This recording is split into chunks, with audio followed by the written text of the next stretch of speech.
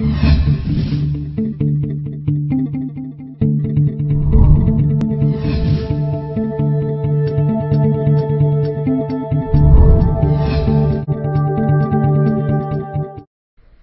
ดีค่ะ ตอนที่ 42 การหาปริมาตรของรูปทรงสามมิติ ที่เกิดจากการหมุนโดยวิธีแบบเปลือกทรงกระบอก วัตถุประสงค์ในตอนนี้นะคะ เพื่อให้ผู้เรียนศึกษาวิธีการหาปริมาตรของรูปทรงสามมิติ ที่เกิดจากการหมุนโดยวิธีแบบเปลือกทรงกระบอก การหาปริมาตรนะคะ ของรูปทรงสามมิติที่เกิดจากการหมุนโดยวิธีแบบเปลือกทรงกระบอก ก็คือปริมาตรของรูปทรงสามมิตินะคะ ที่เกิดจากการหมุนบริเวณ R ที่ปิดล้อมด้วยโค้งบนระนาบนะคะ รอบแกนหมุนในที่นี้ก็คือ กน y นะคะ โดยแบ่งบริเวณ R นะคะ เป็นแถบสี่เหลี่ยมผืนผ้า ให้ขนานกับแกนหมุน เมื่อหมุนรอบแกน y นะคะ เราก็จะได้รูปเปลือกทรงกระบอกซ้อนๆกันนะคะ มีวิธีในการหาปริมาตรดังนี้ กรณีหมุนบริเวณ R โดยวิธีแบบเปลือกทรงกระบอกรอบแกน y ให้ f เป็นฟังก์ชันต่อเนื่อง และ f(x) มากกว่าหรือเท่ากับ 0 สำหรับทุก x ในช่วงปิด AB และ R เป็นบริเวณที่ล้อมรอบด้วยเส้นโค้ง y เท่ากับ fx แต่อยู่เหนือแกน x สำหรับ x ที่มากกว่าเท่ากับ a น้อยกว่าเท่ากับ b ดังรูปนะคะนำบริเวณ R หมุนรอบแกน y นะคะ ได้รูปทรงสามมิตินะคะ การคำนวณหาปริมาตรทำได้ดังนี้นะคะ ให้ v แทนปริมาตรนะคะของรูปทรงสามมิติ ที่เกิดจากการหมุนบริเวณ R โดยวิธีแบบเปลือกทรงกระบอกรอบแกน y แบ่งนะคะบริเวณ R นะคะ ให้เป็นแถบสี่เหลี่ยมผืนผ้านะคะ ขนานกับแกนหมุนนะคะก็คือแกน y นะคะ โดยแบ่งช่วงปิด AB นะคะ ออกเป็น n ช่วงย่อยก็คือ a เท่ากับ x 0น้อยกว่า x 1น้อยกว่าไปเรื่อยถึง xn ซึ่งเท่ากับ b นะคะ ปริมาตร v ที่ต้องการนะคะ ถูกแบ่งเป็น n ชิ้น ในแต่ละชิ้นมีปริมาตรเป็น v 1 v 2ไปเรื่อยๆถึง vn สามารถประมาณปริมาตรของเปลือกทรงกระบอก ที่เกิดจากการหมุนแถบสี่เหลี่ยมผืนผ้าชิ้นที่ k ได้นำนะคะ เปลือกทรงกระบอกนะคะ มาตัดตามความสูงนะคะ ของเปลือกทรงกระบอก ก็จะได้ออกมานะคะ เป็นรูปสี่เหลี่ยมผืนผ้านะคะ ทำการหาพื้นที่ผิวนะคะของเปลือกทรงกระบอก AK นะคะก็คือกว้างคูณยาวนะคะ โดยความกว้างนะคะก็คือความสูงของเปลือกทรงกระบอกนะคะ ความยาวนะคะก็คือเส้นรอบวงนะคะ โดยมีรัศมีนะคะ คือระยะทางจากแถบถึงแกนหมุนนะคะก็คือ x star k ดังนั้นนะคะ พื้นที่ผิวของเปลือกทรงกระบอก AK ก็จะเท่ากับ 2 pi x star k คูณด้วย fx star k เนื่องจากปริมาตร v นะคะ ก็คือพื้นที่ผิวของเปลือกทรงกระบอกคูณด้วยความหนา ดังนั้นปริมาตร vk เท่ากับ ak คูณด้วยเดลต้า xk ซึ่งเท่ากับ 2 pi คูณ x star k คูณด้วย fx star k คูณด้วยเดลต้า xk เราจะได้นะคะว่าปริมาตร v นะคะ มีค่าประมาณด้วย ซิกมา vk นะคะ k เท่ากับ 1 ถึง n ซึ่งเท่ากับซิกมานะคะ2 pi คูณ x star k คูณด้วย fx star k คูณด้วยเดลต้า xk k เท่ากับ 1 ถึง n พิจารณาความกว้างของช่วงที่แบ่งนะคะ ถ้าให้เดลต้า xk เข้าใกล้ศูนย์นะคะ หรือ n เข้าใกล้ infinity นะคะ ดังนั้นปริมาตร v ก็จะเท่ากับลิมิตของซิกมานะคะ2 pi คูณ x star k คูณด้วย fx star k คูณด้วยเดลต้า xk k เท่ากับ 1 ถึง n เมื่อ n เข้าใกล้ infinity เนื่องจาก f เป็นฟังก์ชันต่อเนื่องนะคะ บนช่วงปิด ab เราก็จะได้นะคะ ปริมาตรของทรงสามมิติ v นะคะ ก็จะเท่ากับ อินทิเกรต a ถึง b 2 pi คูณ x คูณ fx dx กรณีหมุนบริเวณ r นะคะ โดยวิธีแบบเปลือกทรงกระบอกรอบแกน x นะคะ พิจารณาบริเวณ r นะคะ เราจะแบ่งบริเวณ R นะคะ เป็นแถบสี่เหลี่ยมผืนผ้านะคะ ให้ขนานกับแกนหมุนนะคะ ก็คือแกน x นะคะ หมุนรอบแกน x นะคะ จะได้รูปทรงสามมิตินะคะ ดังรูปนะคะ มีวิธีการหาปริมาตรนะคะทำนองเดียวกับการหมุนรอบแกน y นะคะ ดังนี้ ให้ w นะคะเป็นฟังก์ชันต่อเนื่อง และ wy มากกว่าเท่ากับ 0สำหรับทุก y ในช่วงปิด cd และ r เป็นบริเวณที่ล้อมรอบด้วยเส้นโค้ง x เท่ากับ wy แต่อยู่ทางขวาของแกน y นะคะสำหรับ x ที่อยู่ในช่วงปิด cd ปริมาตร v นะคะก็จะเท่ากับอินทิเกรตจาก c ถึง d นะคะ2พายคูณด้วย y คูณด้วย wy dy ตัวอย่างหนึ่ง จงหาปริมาตรของรูปทรงสามมิติ ที่เกิดจากการหมุนบริเวณ r ซึ่งปิดล้อมด้วยเส้นโค้ง y เท่ากับรากที่ 2 ของ x เส้นตรง x เท่ากับ 1 เส้นตรง x เท่ากับ 4 และแกน x รอบแกน y โดยวิธีเปลือกทรงกระบอก ก่อนอื่นนะคะทำการวาดรูปบริเวณ r นะคะ ที่ปิดล้อมด้วยโค้งที่โจทย์กำหนดนะคะ จะได้บริเวณ r นะคะ ที่แรงเงาดังรูป หมุนบริเวณ r นะคะ โดยวิธีแบบเปลือกทรงกระบอกนะคะ รอบแกน y ได้รูปทรงสามมิตินะคะ โดยแบ่งนะคะ บริเวณ r เป็นแถบสี่เหลี่ยม ผืนผ้านะคะ ให้ขนานกับแกน y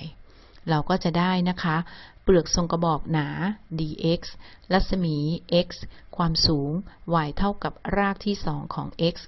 สำหรับ x ที่มากกว่าเท่ากับ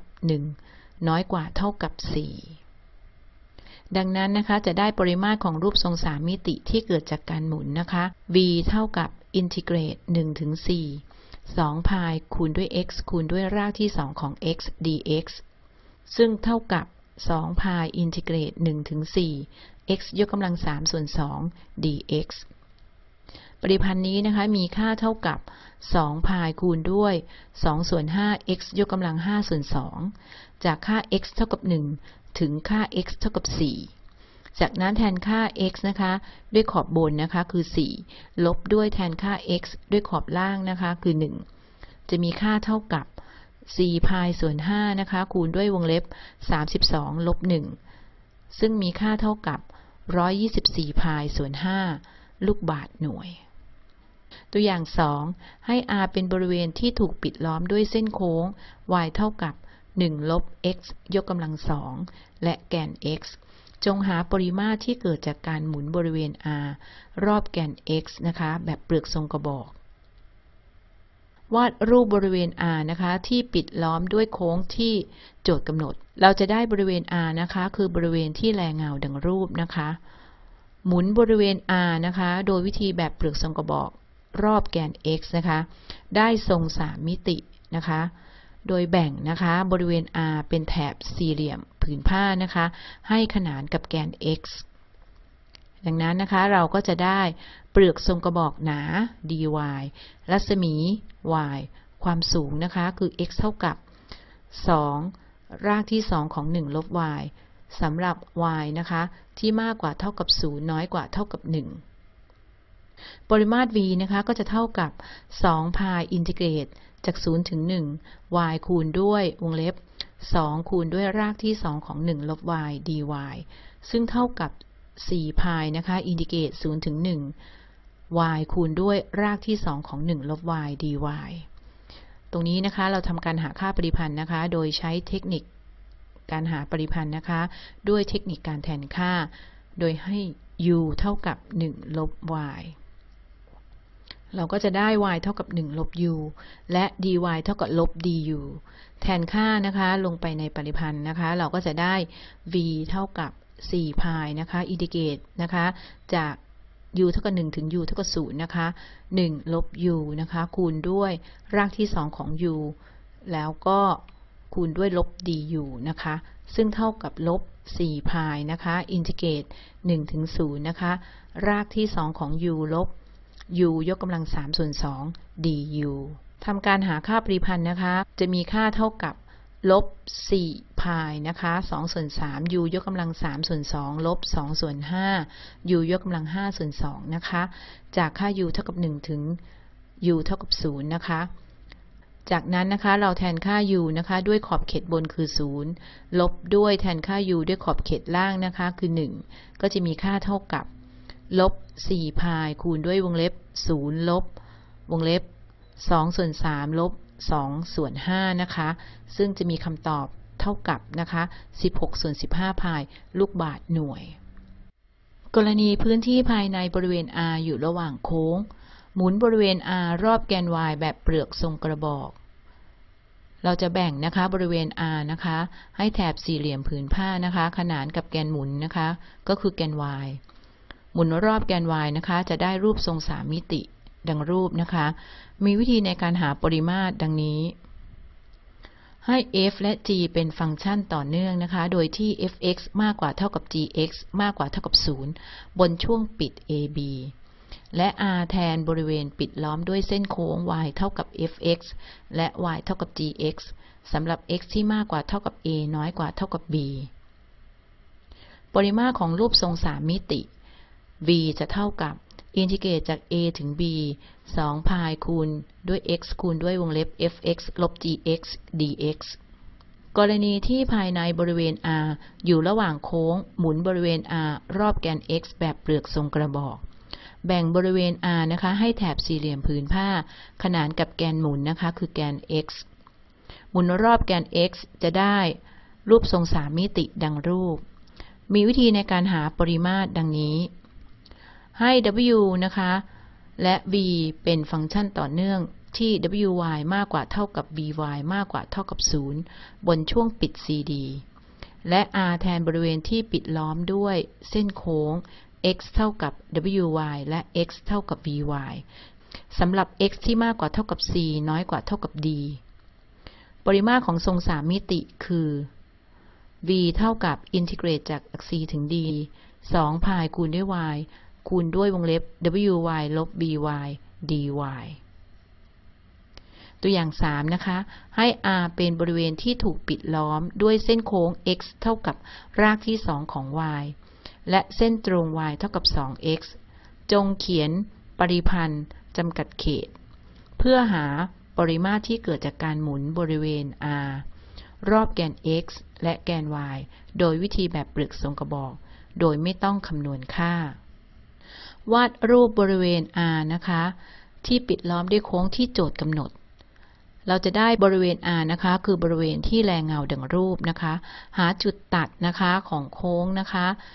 x เท่ากับรากที่ 2 ของ y และเส้นตรง